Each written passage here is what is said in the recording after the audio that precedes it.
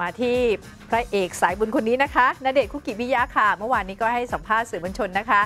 ก็ได้ไปทำบุญกับยาย่าแล้วก็แม่แก้วแม่ปลานะคะ ที่วัดพระศรีรัตนศาสดารามค่ะณเดชน์ก็บอกว่าการทำบุญครั้งนี้ถือว่าได้ทำบุญตามความตั้งใจ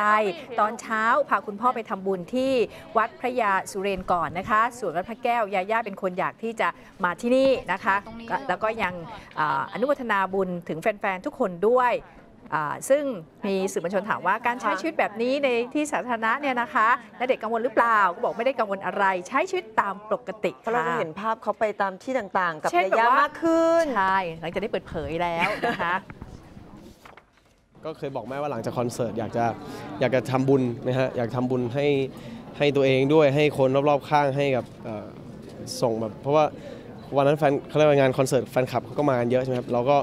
อยากจะส่งบุญไปให้เขาด้วยอะไรเงี้ยเราก็ตั้งใจว่าเราเราทำบุญถวายสังฆทาน ปรากฏว่าวันนั้นมีการสวดมนต์สวดมนต์ประจำประจำเดือน ก็เลยถือโอกาสอ่าก็เป็นความที่พี่ๆที่นั่นเขาก็ก็เอิ่มใจดีด้วยเขาก็แบบเออหนังสือสวดมนต์มาให้ แล้วก็แบบเอิ่มหาที่นั่งให้อะไรเงี้ยครับผมก็ถือว่าเป็นโชคดีของของทุกๆ คนในวันนั้นที่ได้ไป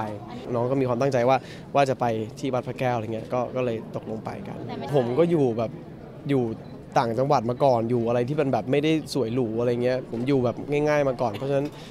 ถ้าเทียบว่าเออแบบเวลาเป็นคนที่แบบเป็นดาราแล้วแล้วไปไปในที่ที่แบบสาธารณะแล้วมีคนแบบมากีดการ์ดเข้ามาหาบ้างอะไรเงี้ยเราก็